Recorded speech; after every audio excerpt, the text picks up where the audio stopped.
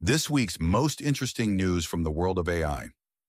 Which countries will OpenAI's AI agent operator be available in after its U.S. launch?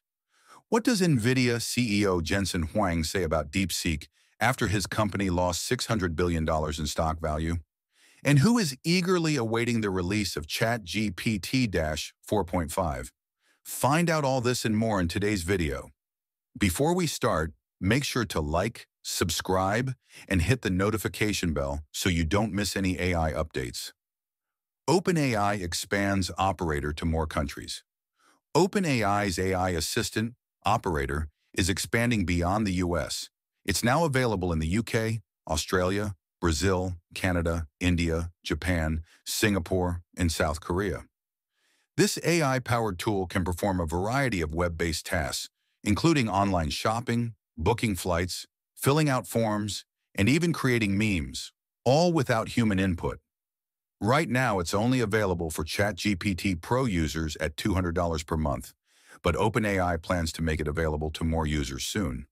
Could this be the future of AI-powered personal assistants? Let us know what you think in the comments. NVIDIA CEO responds to DeepSeek's market disruption. After a $600 billion drop in NVIDIA's market value, CEO Jensen Huang has finally addressed concerns about DeepSeek's AI model.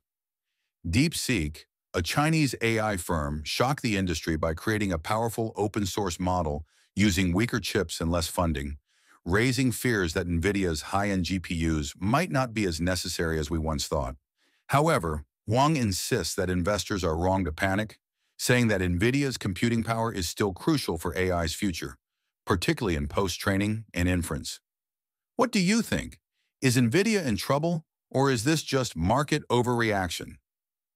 Microsoft prepares to host OpenAI's GPT 4.5 and GPT 5.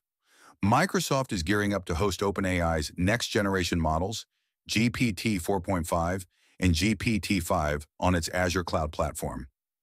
GPT-4.5, codenamed Orion, is expected to launch by the end of February. OpenAI says it will be their last non-chain of thought model, meaning it will generate more direct responses without breaking down reasoning into multiple steps. Meanwhile, GPT-5 is set to arrive in May 2025, and OpenAI CEO Sam Altman claims it will be a lot smarter than GPT-4. Microsoft is already expanding server capacity to handle these models. Are you excited for GPT 4.5 and GPT 5? Let us know in the comments. The New York Times introduces AI tools in the newsroom. The New York Times is officially integrating AI into its newsroom. They've launched Echo, an AI tool designed to help summarize articles, edit stories, and generate SEO-friendly headlines. Additionally, the NYT has approved the use of AI tools like GitHub Copilot and Google's Vertex AI for coding and research. However, they made it clear, AI will not replace human journalists. All AI-assisted content must be fact-checked and edited by professional writers before publication. Do you think AI in journalism is a good thing, or does it risk compromising editorial integrity? The Guardian signs AI partnership with OpenAI. The Guardian Media Group has announced a major partnership with OpenAI, allowing its journalism to be featured directly in ChatGPT.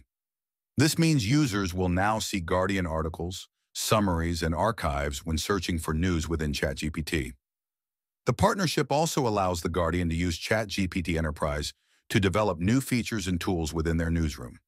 This move follows similar deals made by the Associated Press, News Corp, and Axel Springer, showing a trend where traditional news organizations are embracing AI. What do you think about AI-powered news? Could this change how we consume journalism? And that's a wrap on this week's top AI stories. AI is transforming everything, and we're just getting started. If you found this video informative, hit that like button, subscribe for more AI updates, and don't forget to turn on notifications.